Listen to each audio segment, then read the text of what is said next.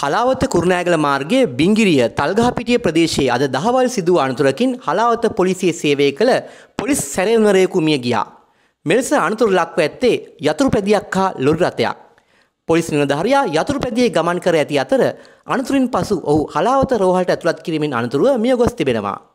මෙලෙස මිය ගොස් ඇත්තේ හලාවත පොලිසියට අනුයුක්තව සේවය කරන ලද ලෙස්ලි ප්‍රනාන්දු නැමැති පොලිස් සැරෙන්වරයෙක්. මොහුගේ සේවය අවසන් වීමට තිබී ඇත්තේ මාස දෙකක කාලයක් බවයි හලාවත පොලිසියේ උසස් නිලධාරියෙකු කියා සිටියේ. මියගිය පොලිස් නිලධාරියා බිංගිරියේ පදිංචිකරුවෙක්.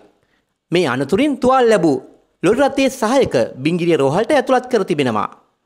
අනතුර සම්බන්ධයෙන් බිංගිරිය පොලිසිය විශේෂ පරීක්ෂණයක් ආරම්භ කර ඇති අතර ලොරි රථයේ රියදුරු අත්අඩංගුවටගෙන තිබෙනවා. මෙයා මේ පොඩි දුව අරගෙන ආවා විතරයි මෙතනින්. උන්නා නම් යට වෙනවා විනාඩි 5ක්වත් ගියේ නැහැ. ගිහිල්ලා ගෙදර තියාගෙන උන්නා. ඉන්නකොට තමයි මේ එකපාරට වටාස් කරන සද්ද ඇහුනේ.